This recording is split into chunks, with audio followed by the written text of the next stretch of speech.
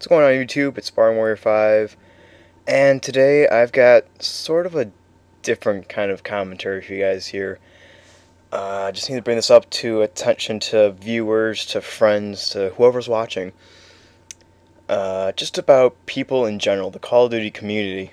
Uh, generally, you guys gotta start calming down. Like, holy Jesus. Uh, I've been watching commentary videos, reading people's comments, and generally they think every single gun, perk, equipment, anything in this game is cheap, bitchy, noobish, whatever you want to call it. Uh, and I really do not like that because it makes me feel like, well, people are going to see me as a noob using these things. What can I do to make me appear less noobish to the Call of Duty community? I mean, there seems to be nothing that I can do to make people happy. But hopefully, I'm making my viewers at home happy right now with my commentary videos. And, uh, just another thing, guys that I've added and done private matches with. I'm not going to say any names. I'm not calling anyone out. Not going to do that.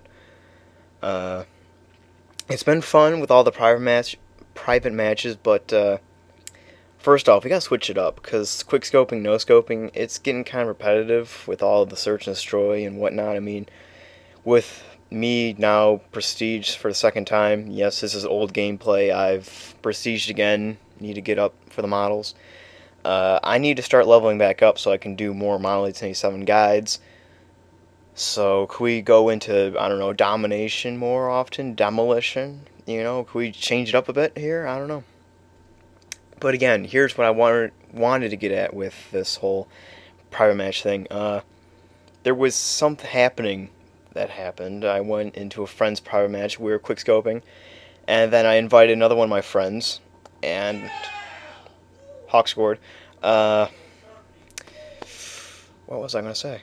Oh yeah, another friend joined, and apparently he was hard scoping, and uh, they got really upset with him, calling him a douchebag, calling him a noob, whatever. And guys, I really do not like that. It's a game. Calm down, alright? It's not like your life's depending on it. And plus, hard scoping, I just learned this the other day in that match. It's when you have your scope up like for a sniper rifle, you have it up and you see the crosshairs more clearly and you have it up for a couple seconds. Apparently that's hard scoping and apparently that's cheap.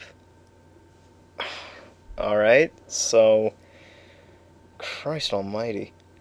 I mean it's like grow up and just grow a sack and deal with it. I mean has anyone else noticed this before? I I don't know. So, uh, generally, that's what I wanted to say to that. And guys, if you have any uh, class setup that you want me to go through and use, you know, write down comment, personal message, and I'll see if I can do it. You know, have requested matches, like a certain game type, a certain map, a certain gun. I'll see what I can do, because I'm currently level 28, second prestige. Uh, yeah, definitely that. And uh, now let's start getting into some tactics here. I'm on Wasteland doing domination. Now you'll see uh, I'm generally running in their spawn, going at C, checking this air, air, Christ, checking the airplane helicopter pad for spawn people so I can take them out. And generally on this map, you definitely want to control B. That is pretty much the center of attention you have the Gatling guns. It's the easiest to defend, but it's the hardest to take. And so you're going to, like, if you rewind the film, I go straight for B at that one certain spot. It's like next to that one box, next to the tree in between there. That's a really nice, safe place to take B at the beginning. And when if you can hold down B and take A or C, generally you're going to win on this map. Doesn't matter if you're playing with your teammates, like your friends, it doesn't matter if you're just playing with a bunch of random people, you're going to get the win. So we've lost B now. I don't know if we've had it for a while, lost it, or I'm not sure. But I'm trying, I'm trying to take B back, and um, I want to be able to hold down B again. But we've taken A and C, and generally you do not want to do that because everyone's going to be spawning at the center and erratic spawn, and it's just going to be crazy. Another tip that generally I really do not do a good job right here is this bunker. You do not want to stay in the bunker because it's prime, like a prime spot for noob tubes, for RPGs, for grenade spam with one man army. Do not stay in this bunker for a long period of time. I know I don't show it in this video. I don't know. I was just I was picking up some kills, but I got lucky. All right, that's the main point. I got lucky this match. These guys weren't noob tubing as much. They were more quick scoping with ACOGs and all that. But uh, do not stay in that bunker. And I'll probably, hopefully, show a video on that. Um, I mean, a lot. You can get a lot of kills, but you also get a lot of deaths. If you do, if you don't want to get like a high uh, death like ratio, I guess you want to say, like you don't want to die a lot, do not stay in the bunker. All right, stay on the outsides and pick off people with your assault rifle, your LMG, because whoever has the high ground will win the battle. All right. Not a lot of commentators say this, but you know it's just a proven fact that you are going to win if you have the high ground, because you can look down and just shoot them, and they have to look up, which is generally harder to do in this game. I know it sound, sounds kind of ridiculous, but uh, it's just a general war rule. If you have the high ground, you're going to win. All right? That's it. And here's another thing uh, campers. Whenever someone says, hey, stop camping, stop camping, it's like, well, a soldier wouldn't run out there and run gun now, would they? They'd be camping. Guys, let me say something here. No soldier in his right mind would hide in a corner and just pick off enemies that they're going by. If you guys want, I could do a history of war tactics and war strategies, but I'm not going to do that for this video. I've taken a class, world European history, and we've done a lot of war coverage. So, generally, that uh, I just lost my train of thought again. Something's going on upstairs. Uh, soldiers nowadays, they're tactically camping. They're going to a position, defending it, clearing it out, you know. Then they're going to go to the next position, clear out the enemy, defend it. That's what they do. They don't camp. They're not standing in corners picking off enemies as they go by. That that's not what a soldier does. So if you ever hear a camper say that, call him a douchebag, call him a bitch, you know. They're just making up excuses. And with excuses, this happened to me the other day. I joined a match, like just joined one. They were at the last kill. Like our team had the last kill. I ran around a corner. I got the guy for the last kill cam.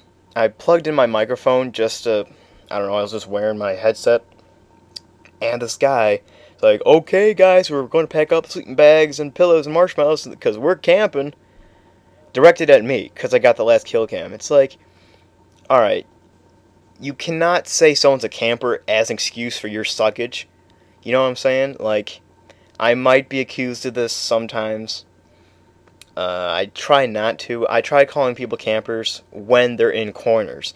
Because that's my definition of a camper. I don't know what you guys think of campers, but for me, it's someone who hides in a corner consistently for a large amount of time. Uh, I don't know if you guys think I'm wrong. If I'm right, leave a comment. I don't know.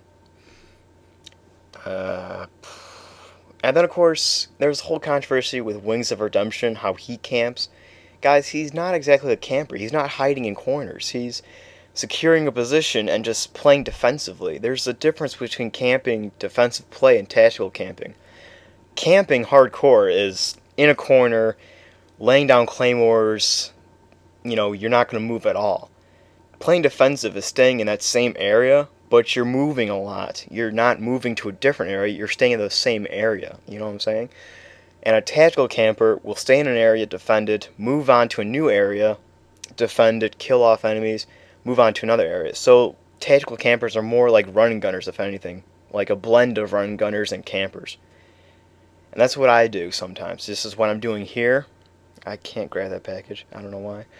Uh, that's what I generally do with assault rifles, S, uh, LMGs, that's what you're going to see me do. And that's how I get my high scoring games. I tactically camp. And that'd be my suggestion to you guys if you want to get a high KD. You tactically camp. Alright? You're not going to be called a bitch. You're not going to be called a noob. Uh, if someone's just being a douchebag and saying, "Oh, you're a douchebag, noober," then yeah, you're going to be called that. Because there are haters out there, guys. There are haters who will hate your gameplay, your styles, the weapons you're using. Just get over it and move on. Just have fun with the game. It's a video game. You spent money to have fun, not to be anal retentive about your KD. Which, by the way, mine is now officially at a 1.0. Feel pretty good about that one. So, video's starting to kind of come to a close here. Uh, final score is 28 to 8. Uh, got a few more minutes here. Uh, what else should I be talking about here? I really don't know. Thank you all subscribers and friends and viewers at home and commenters. You guys are all great people. Thank you for watching. I hope you enjoyed. Stay tuned for more commentaries, and uh, I'll catch you guys later. Yeah. Go Hawks.